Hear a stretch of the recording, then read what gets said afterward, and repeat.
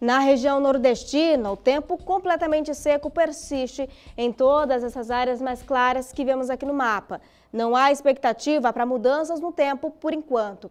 Pancadas de chuva podem ser registradas no litoral, desde a Bahia até o Maranhão, tudo por conta das ondas de leste, que inclusive podem provocar acumulados significativos no litoral da Paraíba, também no Rio Grande do Norte e no litoral entre Ceará e Piauí.